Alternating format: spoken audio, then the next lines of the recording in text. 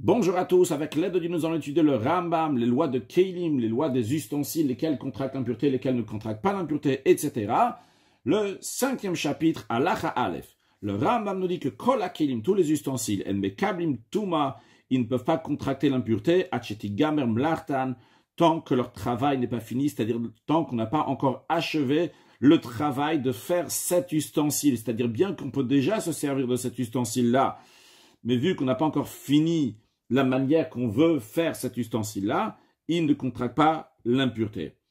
Ou clé en ce qui concerne des ustensiles en bois, on a appris que les ustensiles en bois, ils sont mekabel tout, mais ils contractent l'impureté une fois qu'ils sont des ustensiles qui peuvent être mekabel, qui peuvent recevoir, qui peuvent réceptionner quelque chose d'après la Torah, et ils peuvent contracter l'impureté même s'ils ne sont pas réceptionnés, ils ne peuvent pas être cliquables, ils sont même pas shoot, ils sont même à plat, mais c'est un ustensile, mais ils peuvent contracter l'impureté d'ordre rabbinique. Alors Ram nous dit, mais matayem et kablim toum, à partir de quand ils contractent l'impureté? Alors, mitave harissa, en ce qui concerne le lit, et un lit de bébé, une sorte de berceau, michi c'est une fois qu'il va les rendre lisses avec la peau de poisson, il est l'idée de les rendre lisses, les faire briller avec cette peau de poisson.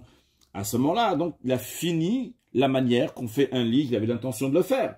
Mais non, si Shelolashouf, lui, celui qui a fabriqué ce lit, il a dit, moi c'est bon, je m'arrête là, je vais pas frotter, je vais pas faire lisser ce lit-là avec la peau de poisson. Je m'arrête là, ça me, ça me convient. Eh bien, le fait qu'il pense dans sa tête que le travail, il est fini maintenant, évidemment, donc ce lit-là, il est fini, il est fait pour son travail, on peut dormir dedans. Arrête le mekablim touma. Eh bien, à partir de ce moment-là, cet ustensile, donc le lit, peut contracter l'impureté, vu que son intention, elle compte ici. Vu que lui, il n'avait plus l'intention de continuer de faire plus que ça, eh bien, le lit est fini.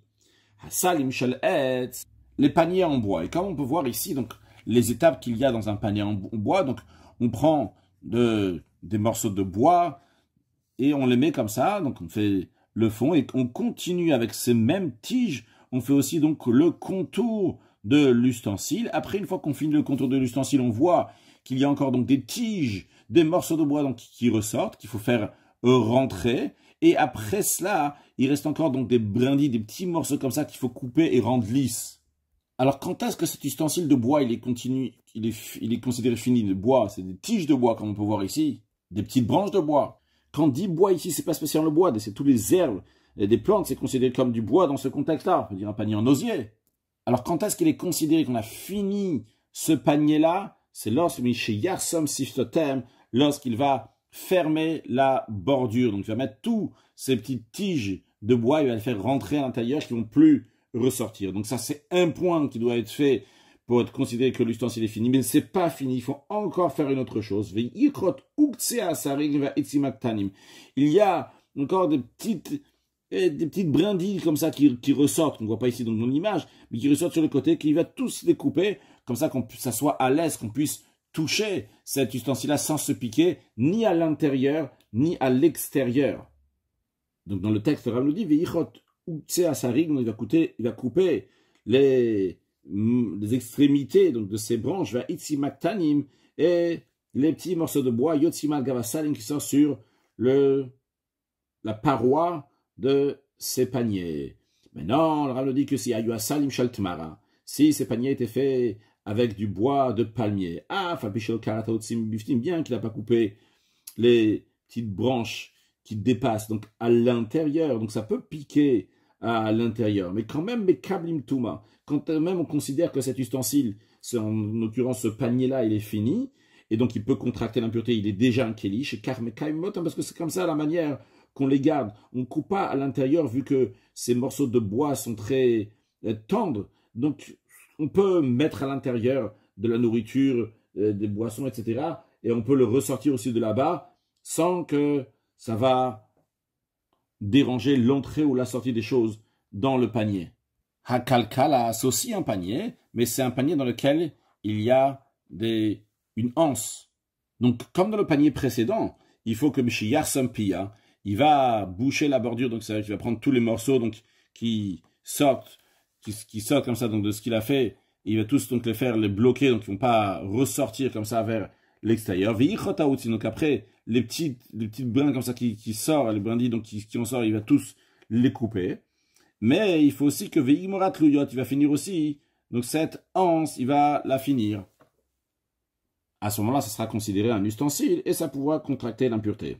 Beta kosot, la corbeille pour les coupes. On peut voir ici donc une image, une corbeille dans laquelle on peut mettre plusieurs coupes à l'intérieur. Ou bête guinotes, une corbeille dont on peut mettre des cruches, on peut voir aussi dans l'image. Donc il y a donc une corbeille dans laquelle on peut mettre plusieurs cruches. À partir de quand donc c'est considéré la corbeille, quand est-ce qu'elle est finie?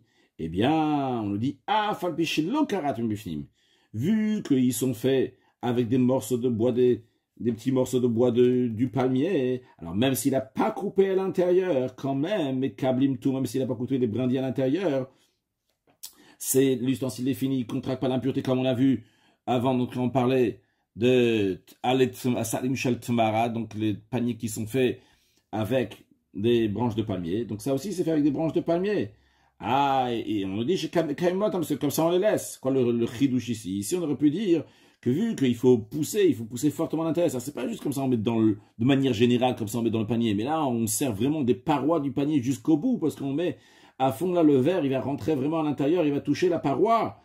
Alors on va dire, on va pas les pousser comme ça. S'il y a des, des, petits brindilles, des petits morceaux de bois, de palmier qui sont en train encore, qui ressortent de l'intérieur, on dit non, quand même, ça va pas faire de mal, ça va pas endommager les verres ou bien les cruches qu'on met à l'intérieur, et donc ils sont considérés finis, même si on n'a pas coupé les choses à l'intérieur, parce qu'on les laisse comme ça. Les petites corbeilles d'osier, comme on peut voir ici, donc on en fait comme une sorte donc de... C'est un, petit panier donc qui est fait comme ça, donc avec un, osier. Donc ici on voit l'image de Knon, on va voir dans la suite, il y a Knonim Magdolim. Ici on est en train de parler d'un qui est petit. De même, le Ram dit vers Klatot. Donc ceci donc un petit ustensile dans lequel donc, on, utilise, lequel on utilise pour manger de, donc si on peut dire comme ça des sortes de petites assiettes. On verra dans la suite, il y a Knonim Tanim encore une fois, il y a pu y avoir des Gdolim aussi. Mais le principe, il est la différence, la chose différentielle, que ça s'est fait donc avec plusieurs euh, fils, si on peut dire, d'osier, donc plusieurs cordes d'osier comme ça, donc c'est tout comme ça, tout collé. Et là, donc, on voit que c'est plutôt fait donc avec d'autres matières donc, qui, sont plus, euh, qui sont plus plats. Alors, quand est-ce qu'ils sont considérés qui sont finis, donc ils peuvent contracter l'impureté, lorsqu'il va fermer la bordure, il va, il va couper les petites brindilles qui en sortent. Donc ça, c'est en ce qui concerne l'acronyme actanim. Maintenant, en ce qui concerne aknonim hakdolim, quand il s'agit donc des grands knonymes, donc encore une fois, c'est la même chose, mais c'est juste qu'ils sont plus grands, donc des sortes d'assiettes qui sont plus grandes. Vehasugim hakdolim. Expliquons c'est quoi un soug au singulier et sugim au pluriel. Donc déjà, on peut voir ici, donc c'est quoi la, la, forme d'un soug. Donc c'est des grands des, très grands paniers dans lesquels on met de la farine ou, du blé. En général, on s'en sert donc à côté de la meule. Là-bas, on met des, grands, beaucoup de choses là-bas. Maintenant, comment ça s'abrique? Et cette idée-là, on aura besoin aussi dans la suite. Il y a d'autres choses qu'a priori sont aussi construites, fabriquées d'une telle manière. Là, on voit comment on est en train de faire le bas de cet ustensile, donc on appelle un soug. Donc, ce qui est le bas, le dessous de cette grande corbeille, il est fait. Tout d'abord, on prend donc un fil des fois un fil qui peut faire 50 euh, mètres, et comme ça, donc ce fil, cette corde là qui fait 50 mètres, et on va faire comme ça, en fonction de la taille que je veux, si je veux faire quelque chose de 10 cm, de 20 cm, de 30, 50 cm, et comme ça, donc on va tourner la corde au fur et à mesure, jusqu'à une fois que c'est fini, une fois qu'on a fini maintenant de faire toute la corde, d'avoir fait tourner la corde, on peut faire le dessous de cette corbeille, on commence maintenant à faire une paroi à cette corbeille. Donc, on va faire tourner la corde maintenant, au-dessus de ce fond. Et quand on va parler, donc, il faut au moment où il va faire Schnedurim, on voit, donc il a fait deux, deux rangées, c'est-à-dire qu'en plus de la rangée inférieure, donc du dessous de cette corbeille, il faut en faire encore deux rangées au-dessus. À ce moment-là, il est considéré qu'il puisse, qu'il peut contenir quelque chose. Et il est Mekabel Touma, il contractera l'impureté. Dans la suite, on verra d'autres choses, qui ne s'appellent pas un souk, ça s'appelle dans cette corbeille, mais d'autres catégories. Des fois, on dira qu'il y a seulement du moment où il a fait une rangée, c'est déjà considéré un Kelly. Le principe, c'est du moment où quelque chose est considéré un Kelly, il peut contracter l'impureté. C'est ça le principe dans des choses qu'on va voir ici, dans la suite aussi. Donc le Ram nous dit quand est-ce que ce sou il va être Mekabel Toum à contracter l'impureté? Durim la Dès qu'il va faire donc deux, deux, deux rangées à leur largeur, ce que le Ram il appelle la largeur, donc c'est-à-dire lorsqu'il va commencer à monter. Donc ça c'est le rocha, c'est en plus du fond, il va commencer à faire deux rangées en plus. En plus du fond, on a dit, un et deux, à ce moment-là, donc il met kabel touma, il peut contracter l'impureté. Maintenant, yam nafa veyam et, kvara. Donc c'est, on a aussi bien un tamis et un crible. C'est presque le même principe, juste que le tamis, donc c'est pour tamiser donc des choses de manière beaucoup plus fine, et le crible, donc c'est des trous qui sont plus gros. Quand on parle du yam, c'est le yam, donc c'est l'ustensile qui va réceptionner ce qui sort de la nafa du tamis. Et ici, le yam, donc cette mer, entre guillemets, de la même manière que la mer est entourée de terre, donc ici aussi, c'est entouré de quelque chose. Nous avons donc un, la gvara, donc le tamis, et ça c'est le yam, de la Gvara, du, Tami.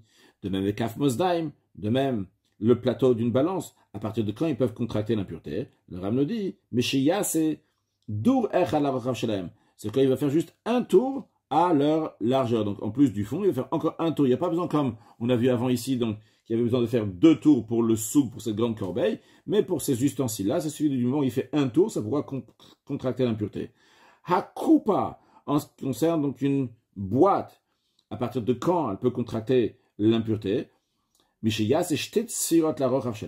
du moment où il va faire donc deux tours de corde sur le rocha, encore une fois, donc le rocha, ici on ne voit pas d'image de, de, bois, c'est le même principe quand il va faire donc deux tours sur le rocha, donc sur le paroi de cet ustensile. Vea arak. Arak, c'est l'ustensile qu'on voit ici, cette sorte de corbeille, donc qui est étroite et longue. À partir de quand elle peut contracter l'impureté, Mishiya, c'est botsfira. D'abord, ça suffit de faire seulement juste un tour vu que c'est quelque chose qui est plus euh, fin, c'est-à-dire que c'est étroit et long, c'est pas, pas, pas comme les autres qui montent tellement haut. Avec un seul tour, c'est déjà considéré cet ustensile-là qui a déjà sa forme qui est déjà pas mal faite. le gamma gaben. Donc dans tous ces ustensiles-là, même s'il n'a pas fini donc leur dos, quand le rabbin parle de dos, donc c'est le rochav qui parle, donc la paroi, eh bien mais kablim touma, il peut déjà contracter l'impureté. Pourquoi? Share niro les machenas, parce que ils sont déjà aptes pour ce qu'ils ont été faits. Le principe, il est déjà là, ok C'est vrai que, par exemple, ici, tu ne pourras pas tellement réceptionner, parce que tu n'as pas encore fini euh, cette grande corbeille, mais il est déjà apte, parce qu'il peut déjà réceptionner quelque chose, il est déjà apte pour la raison qu'il a été faite, c'est la raison pour laquelle il peut déjà contracter l'impureté. Le Ram nous donne un exemple, il va Il y a déjà une forme de l'ustensile. Le à quoi ça ressemble? Le baguette ça ressemble à un vêtement qu'on a déjà cousu une partie du vêtement, et qu'on apprendra dans le chapitre 22, qu'une fois qu'on a déjà cousu même trois doigts sur trois doigts, donc 6 cm sur 6 cm, il est déjà considéré un vêtement pour être mekabel touma, pour contracter l'impureté. Ah, a priori, on n'a pas encore fini le vêtement. Mais quand même, du moment où on a fait trois doigts sur trois doigts, il est apte, il a, déjà la forme d'être un, récipient, en, l'occurrence, l'ustensile, hein, c'est ce vêtement-là, il a déjà donc une certaine forme qui peut contracter l'impureté. En ce qui concerne un machatzelet, donc une natte, donc qui est fait donc avec plein de morceaux de bois comme ça, donc qui sont euh, qui rentrent les uns dans les autres, etc. Comme ça que ça fait une natte. c'est à partir de quand on considère donc contracter l'impureté c'est considéré une natte, un ustensile, c'est lorsqu'il va couper donc les morceaux de bois qui dépassent. Et ça, donc, on considère donc on a fini, on a achevé le travail de cette natte. Tous les ustensiles qui sont faits en tressant des morceaux de bois. Et Tuma, ils ne contractent pas l'impureté jusqu'à que leur bord, le contour de ces ustensiles-là va être fermé. Donc, comme on a montré, c'est lorsqu'il n'y aura plus de, petits morceaux de bois qui ressortent à l'extrémité de cet ustensile. Golmekleet, en ce qui concerne des ustensiles en bois qui n'ont pas été finis, donc ils sont encore en mode golem, ils sont juste, ils n'ont pas été euh, finis, ils n'ont pas fini d'être est formé, eh bien on dit, mais Kablim Touma, quand est-ce qu'ils pourront recevoir? Ah, Peut-être c'est pas mort ils sont, bon, mais Kablim Touma, ils peuvent reconstruire l'impureté, mais chez Naseakli Etz ça. Du moment, même s'il n'a pas été fini, donc il est encore considéré un golem, pas comme j'ai dit avant que golem, c'est vraiment qu'il n'a pas du tout sa forme. Il a déjà une certaine forme. Du moment où il a la forme de l'ustensile de bois qu'on veut faire, eh bien, il va contracter l'impureté. C'est-à-dire, du moment où il a un, par exemple, un, trou pour réceptionner ce qu'il a besoin de réceptionner, eh bien, il est déjà considéré un ustensile, bien qu'il va l'ajuster, l'aplanir avec une tronçonneuse, ou la ou bien qu'il va le rendre plus rond avec un compas, ou ou bien qu'avec une hache, il va embellir donc cet ustensile-là, quelles que soient donc les manières, donc ce qu'il va faire encore dans la suite, Vadain ou golem, ici golem dans le sens donc qui n'a pas encore fini le travail. Oh, il du moment il, ne manque pas de creuser entre guillemets quelque chose. Il a fini donc le creuse qu'il avait besoin de creuser, c'est-à-dire que la forme intérieure de l'ustensile a été faite. Il n'a pas l'intention encore de creuser plus, de faire une forme plus profonde. cet ustensile en bois contracte l'impureté, bien qu'il ait encore l'intention de finir des finitions. Le Ram nous dit que tous les ustensiles en bois qui sont inachevés, ils contractent l'impureté.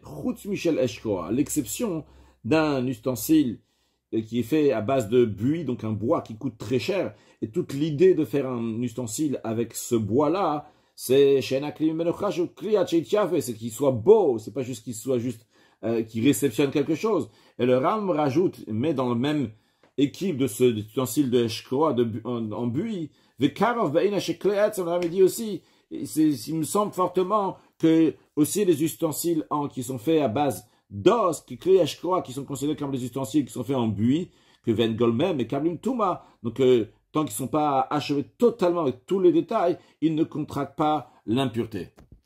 Et juste une parenthèse pour une remarque, pour revenir un peu en arrière, on se dit dans la première halakha, que tant que quelqu'un n'a pas fini un ustensile, on dit par exemple le lit, il n'a pas fini de le faire passer donc avec la, peau de poisson dessus, on a dit faire lisser et briller. Il faut retenir ici essentiellement l'idée de le faire lisser, parce que tant qu'il n'est pas lisse totalement, il n'a pas encore fini cet ustensile. Par contre ici, on parle d'un quelque chose qui est en bois et qui veut le rendre plus beau. Et on nous dit que du moment où il y a déjà ce creux, qu'il n'a pas l'intention de rajouter dans le creux, à ce moment-là, il est déjà considéré un ustensile. Continuons et tout d'abord, donc rappelons ce qu'on avait déjà appris dans le passé.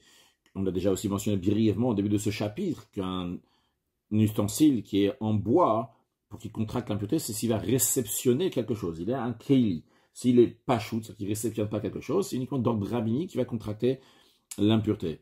On avait appris que même lorsque les sages ont décrété qu'un ustensile en bois qui ne réceptionne pas, qui n'est pas shoot, il va contracter l'impureté, c'est uniquement c'est un ustensile qui sert aussi bien l'homme et ce qui sert à l'homme, qu'on avait appris dans le chapitre précédent, ou bien qui va servir un ustensile seulement, mais il faut qu'il serve l'ustensile, que ce soit au moment où l'ustensile est en train de faire son travail, et quand il n'est pas en train de faire son travail. Et à ce moment-là, on avait dit que les pshut et donc les ustensiles en bois, bien qu'ils ne réceptionnent pas, ils contractent l'impureté. Alors, on nous dit ici, tout bois qui n'a pas la forme d'un ustensile. Bien qu'on s'en sert, et qu'on s'en sert, donc quelque chose qui fait que, bien qu'il n'est pas shoot, il ne pas, réceptionne pas l'intérieur, mais quand même, il est considéré donc un qui peut contracter l'impureté d'ordre rabbinique, mais quand même, s'il n'a pas, le Ram nous dit que s'il n'a pas de forme de Keli, il ne Touma. Il ne va pas contracter l'impureté tant qu'on ne voit pas qu'il est là pour être utilisé pour, un, pour, pour quelque chose. Et c'est la raison pour laquelle Karo, Kochel Nartom, une grande planche sur laquelle les boulangers y mettent, chez Sodrim Alemachalot, ils mettent la pâte, Shenbat, c'est quand c'est encore de la pâte, avant de le faire rentrer dans le four. Mitamot, ils contractent la pureté parce qu'on voit qu'ils sont ici, sont destinés pour être utilisés pour le boulanger, pour qu'il va mettre ses pains dedans, en charrette surat Donc on voit qu'ils sont pour, pour utiliser. les bâtiments. Mais quand c'est des particuliers qui, aussi, donc ils ont comme ça des planches, mais qu'on ne voit pas que c'est fait pour utiliser à cela. Et les Mekablim Touma, il ne contracte pas l'impureté.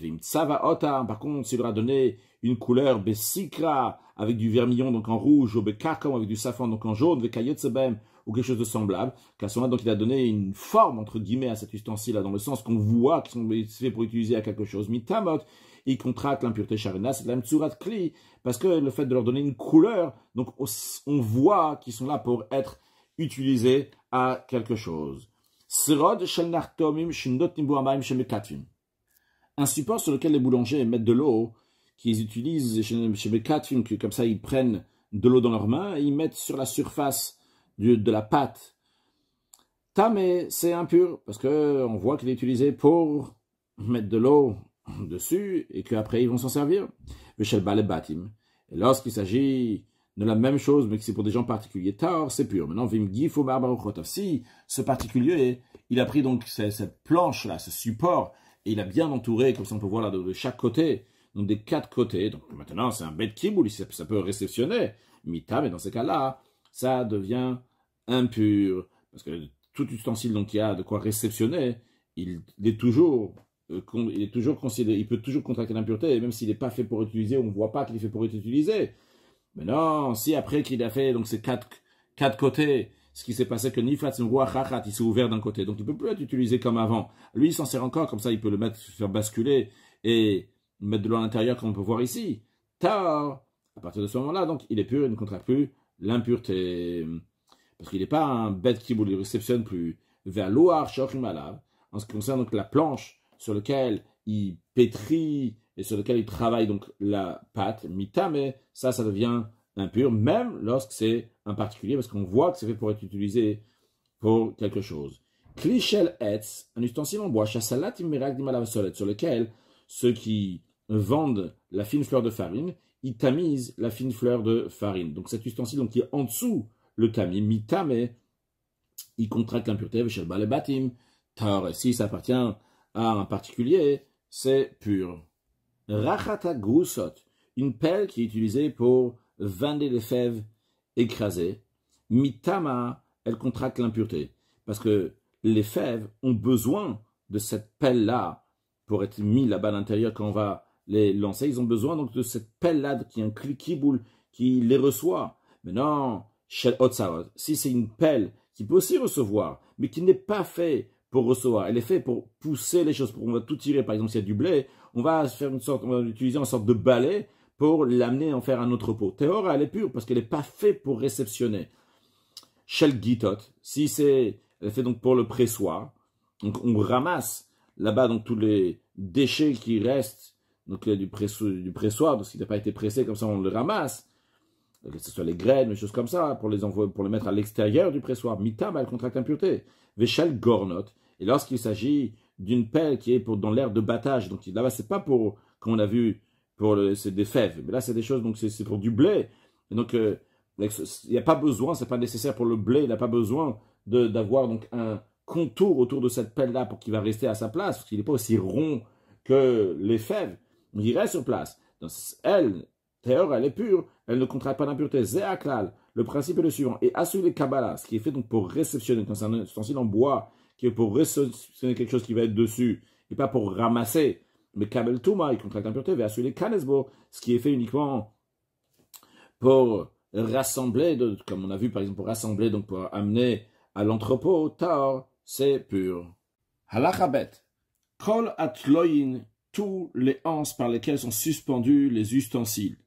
Tehorin, en général, ils sont toujours purs, dans le sens dont ils ne contractent pas l'impureté, même lorsqu'ils sont rattachés à l'ustensile, même dans un cas que l'ustensile va contracter l'impureté, peut contracter l'impureté, mais la hanse ne reçoit pas l'impureté, ne peut pas contracter l'impureté, ne fait pas partie de l'ustensile, vu qu'il n'aide pas au travail de l'ustensile, à l'exception de certaines anses qui aident, oui, au travail de l'ustensile. Quelles sont ces anses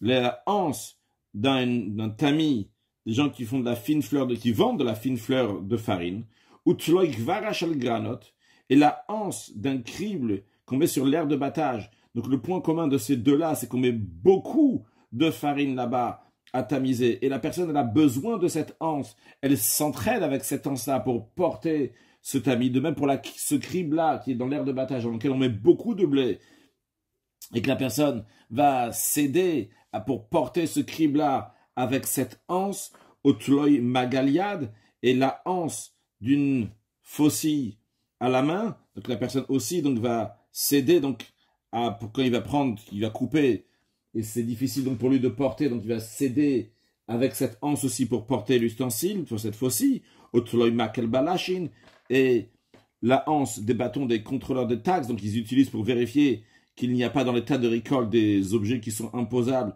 que quelqu'un enfouit là-bas. Donc, on nous dit que ces quatre exemples de hanses qu'il nous a donnés, c'est des hanses qui aident au moment où la personne, elle travaille. Donc, ils font partie du travail de cet ustensile. Donc, ils font partie de cet ustensile. C'est la raison pour laquelle que mitamim, eux aussi, peuvent contracter l'impureté. Zéaklal, voici la règle. Celui qui est supposé, c'est-à-dire une anse ou quelque chose donc, qui aide au moment du mlacha, donc du travail, mitame contracte l'impureté. Celui qui est fait uniquement pour suspendre l'ustensile avec et non pas pour aider au travail, Tar, il est pur, il ne contracte pas l'impureté. Halacha Gimel, Nivle Ameshorerim. La lyre, les lyres des musiciens, mitamim, ils contractent l'impureté. Donc, dans le lyre, il y a une possibilité de déposer des pièces. Et ceux qui font de la musique, ils mettent les pièces qu'ils reçoivent dans ces trous qu'il y a là-bas. C'est la raison pour laquelle que ces lyres-là contractent l'impureté, parce qu'ils sont un où ils réceptionnent des choses. Niv le Bnei Levi, en revanche, la lyre des Bnei Levi, des Lévites, donc dans le Shemezabrim Ben Bamidash avec lequel ils faisaient de la musique dans le temple, Théor, ils sont purs, là-bas ils ne reçoivent pas d'argent. Maintenant, Habatnon, une sorte de guitare qui s'appelle Batnon, du langage de Beten, parce que celui qui en fait, il la met sur, il met cet ustensile-là sur le ventre, va Nictemon, un ustensile qui s'appelle Nictemon, parce qu'il a une forme de pied, et que les gens qui ont un pied amputé, Shalom, ils mettent cette forme de pied. Donc c'est un instrument avant qui a la même forme de pied, donc il s'appelle notre Nictemon, Vea Eirus, et le tambourin, Mitamim, il contracte l'impureté. Parce que dans tous ces cas-là, ils ont l'habitude de mettre de l'argent dans les trous qu'il y a dans ces ustensiles-là. Donc, ils sont fait les kabbales, ils sont faits pour réceptionner quelque chose. Metsudata chulda mitama. Un piège qui est fait pour attraper des belettes est susceptible à contracter l'impureté. Parce qu'il y a là-bas suffisamment de place qu'on fait pour pouvoir bien prendre la belette pour après se servir de sa peau. Chez l'arbarim, en revanche, lorsqu'il s'agit d'un piège pour attraper seulement des souris, terrora, c'est pur, parce que les gens ne sont pas intéressés de la souris elle-même, ils veulent juste tuer la souris. La bête donc celle-là n'a pas un endroit donc qui peut réceptionner la souris. Il n'y a pas une forme d'ustensile. Comme on a dit, donc c'est juste pour c'est plutôt dans criette, ça ressemble plutôt dans un ustensile qui n'a qui pas, il réceptionne pas, et donc qui ne contracte pas l'impureté.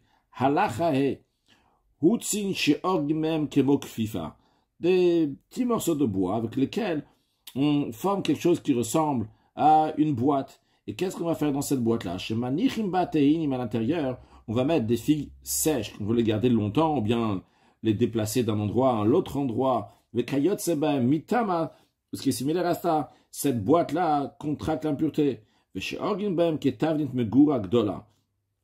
Mais quand on prend ces petits morceaux de bois et on en fait comme un grand entrepôt, dans lequel on entrepose le blé, vous le laissez là-bas donc longtemps, terror assez pur. Pourquoi? Il n'y a pas une notion de réceptacle sur ça, c'est quelque chose qui est très grand, qui a plutôt l'air d'une maison plutôt qu'un ustensile.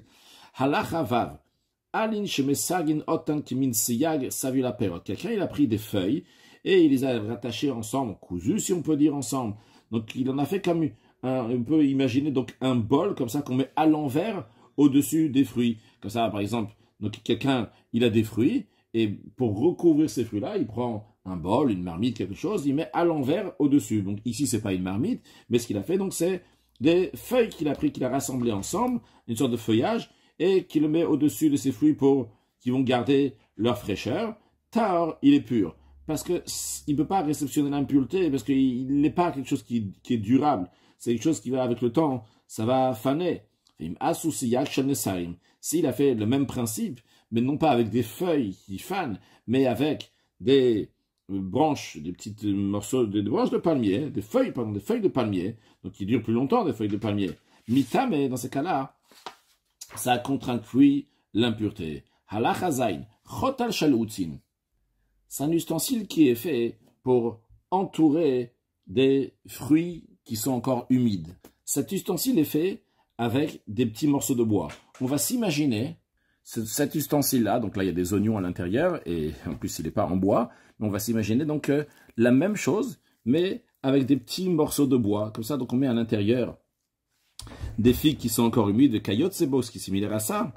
S'il y a une ouverture et qui peut prendre de l'intérieur et de remettre à l'intérieur ces figues humides, mita, mais dans un tel cas, ça peut contracter l'impureté parce que c'est fait pour c'est fixe, on peut toujours s'en servir, on peut toujours remettre des choses à l'intérieur et le ressortir.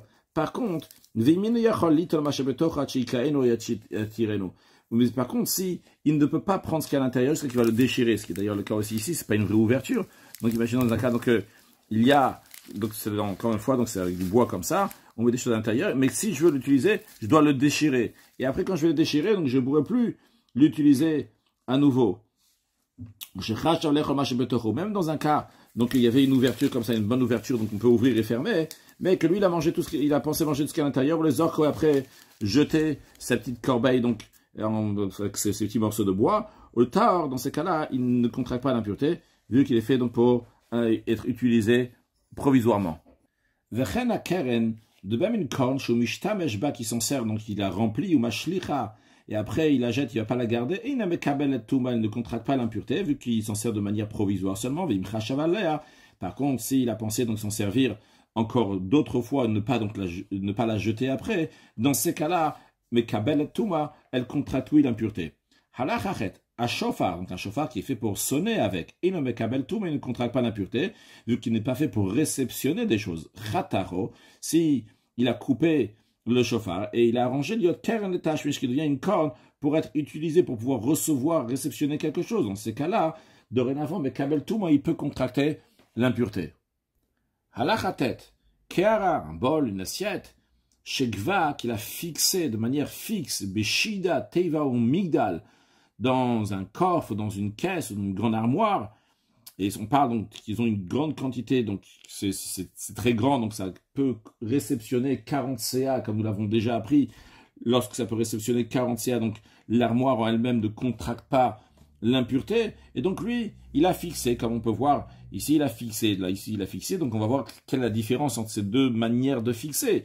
I, Mikeder Kabbalatasi, il a fixé donc comme tel quel, c'est-à-dire qu'elle peut réceptionner, comme on voit dans ce sens-là, donc on peut mettre des choses à l'intérieur de Kabbalat Touma, bien que l'armoire ne contracte pas l'impureté, mais elle n'est pas considérée comme l'armoire, elle est considérée comme l'ustensile qui était jusqu'à présent, qu'elle peut réceptionner l'impureté, et qu'elle peut contracter l'impureté, vu qu'elle peut réceptionner des choses à l'intérieur. On avait une ainsi il a fixé sur la paroi, sur la, paroi comme on voit ici, à l'extérieur, mais que ce soit la paroi, même si on va ouvrir l'armoire, donc on va la mettre à l'intérieur. Donc s'il a mis sur la paroi, donc le principe il est maintenant, elle ne peut pas elle peut pas euh, réceptionner quelque chose. Le seul moyen pour réceptionner, c'est si on va prendre cette armoire-là, chez Matina Shidalsi, cette armoire, on va la prendre, on va la mettre dans ce sens-là, et eh bien à ce moment-là, elle va pouvoir réceptionner. Mais tant qu'on n'a pas renversé, elle ne pourra pas réceptionner. Eh bien, Rezomikla Lachida, dans un tel cas, ça fait partie de l'armoire, ou Tehora, et de la même manière que l'armoire ne contracte pas l'impureté, de la même manière aussi, cette Kehara ne contracte pas l'impureté. À Akun, dans l'achayou, donc un ustensile qui est fait pour captiver, capturer des poissons, ou bien varetouv, un ustensile qui est fait pour capturer les oiseaux, vehaklouv, et la cage dans laquelle on met les oiseaux ou des animaux, shel tout cela donc qui sont faits en bois, tehorim, ils sont purs, ils ne contractent pas l'impureté, vu qu'ils n'ont pas de quoi réceptionner. Halachayudalef, hamadaf, hamadaf, c'est ce que nous voyons ici, donc c'est un piège pour attraper des oiseaux, par exemple. On voit ici donc une planche. Alors déjà, il y a un trou. Un trou, c'est pour que l'oiseau il va rentrer à l'intérieur. Là-bas, il va prendre, il va trouver des, graines. Voilà, on le voit maintenant. Donc, il y a un trou dans lequel il y a des, on met des graines. L'oiseau, il va venir pour manger les graines. Et à ce moment-là, le chasseur qui attend, il va tirer le fil qui est là, ce fil-là qui est rattaché avec ce morceau de bois et qui est cette planche-là qui est au-dessus. Et comme ça, en tirant le fil, ce qui va se passer, c'est que cette planche va tomber sur le trou et l'oiseau va être capturé à l'intérieur. Vea palzo, un piège en bois pour les oiseaux. A des pièges pour poissons de ceux qui font des barrages. C'est-à-dire qu'au début, ils bloquent toute l'eau comme l'eau elle peut pas avancer, comme ça les poissons restent dans un certain endroit, après ils enlèvent l'eau et il reste que les poissons. Eh bien, tout cela, c'est tout ce sorte de metsudot, sorte de, pièges, mitamine, ils contractent l'impureté, charetsurat, klialem, parce qu'ils ont une forme d'ustensile. Allah yudbet. Hasafsalim dakiyot, les bancs qui se trouvent dans les auberges, shamalam de tinokot, ou les bancs des enfants qu'il y a des enseignants qui leur enseignent. Alors, la particularité de ces bancs-là, c'est qu'ils ont la partie donc dessus du banc, et au-dessus, en, dessous, on met des, des pieds. Mais on peut enlever ces pieds constamment, comme ça, on va se servir de la planche sur laquelle on s'assoit pour faire quelque chose d'autre. Comme ça, ils pouvaient se servir de cette planche-là pour d'autres choses. Bien que la planche dans laquelle les bâtons, les pieds vous rentrent à l'intérieur, ils sont il y a un trou dans la planche. Ils vont faire rentrer les pieds à l'intérieur. Quand même, quand même, ils sont purs. Ils ne contractent pas l'impureté, même pas la touma, de midras, des choses que, si le zav il a foulé, donc c'est considéré comme un banc, comme une chaise, comme un lit. Non, parce que vu qu'on les enlève à chaque fois pour se servir de quelque chose d'autre, ils ne sont pas considérés un banc. Maintenant, si kava s'il a fixé les pieds à ce banc. Mais comment il l'a fixé avec des, clous Maintenant, c'est partie du banc. Mais Kablim tout, dans ces cas-là, et ces bancs-là contractent l'impureté. Zehaklal, voici la règle. Tout ce que tu peux prendre, tu vas soulever et ses pieds vont pas venir avec lui, par exemple. Donc ces bancs-là, dans lesquels on met les pieds, on les enlève. Donc quand tu vas soulever la planche qui est au-dessus de ces pieds-là, les pieds vont rester d'un côté, la planche d'un autre côté. Dans ces cas-là, c'est pur. Par contre, si tu as porter quelque chose, ses pieds vont venir avec, comme dans un cas où tu as pris les pieds et tu les as fixés avec des clous à la planche, donc qui, est le banc. Si tous les pieds, ils étaient en bois ou bien en os, mais kabel tout, ça contracte l'impureté. Il y avait un seul des pieds donc qui était en, en pierre et il ne me kabel tout, il ne contracte pas l'impureté. Conclure avec un mot de chassidut qui n'est pas spécialement lié avec ce qu'on a appris, mais le fait qu'on a parlé des malam de Tinok, quand ils enseignent les enfants, ils enseignent les enfants comme ça avec des banques, la planche peut servir en même temps de table, elle peut servir de lit, elle peut servir d'autres choses. On peut donc la, servir pour d'autres choses. Ça me fait rappeler une histoire, donc une fois le Baal Shem il a envoyé ce, sa salutation à quelqu'un qui s'appelait Dover, et la personne, elle est partie, c'était un grand riche, il est parti, il a cherché sûrement un grand rabbi Dover, il s'avère qu'il a trouvé donc finalement Dover au bout de la ville, en train d'enseigner aux enfants, c'était le Mag de Mezrich, qui était encore, euh, pas encore le Mag de Mezrich, mais il était donc l'élève déjà du Baal Shem il enseignait des enfants. Et quand il a vu la pauvreté qu'il y avait là-bas, la manière comment ils étudiaient, là, je ne sais même pas s'il y avait des bancs là-bas, eh bien, il lui a dit, je comprends pas comment on peut vivre comme ça, qu'on peut vivre avec, il n'y a, rien du tout là, on peut pas vivre comme ça. Alors il lui a dit, et toi, où est-ce que se trouvent tous tes meubles, où se trouve ci et ça? Il a dit, moi je suis en voyage. Alors le Magnum je lui a dit, moi aussi je suis en voyage. Mon Chama, elle est venue ici dans le monde, elle passe dans ce monde, elle fait plein de choses, après elle repart, elle repart là-haut. Et cette idée-là, c'est de savoir que le gashmi est important pour pouvoir servir à Kadosh Baruch pour servir Dieu, mais le gashmi en lui-même, il n'est pas important. On est ici de voyage, on est en voyage. Mais on est en voyage pas comme le Mezrich qui était pour repartir après dans le monde futur, dans le Gan Eden, vu que Mashiach il arrive, donc tout va continuer ici dans ce monde-là matériel, en voyage pour arriver à l'avenue de Mashiach très prochainement. Une excellente journée.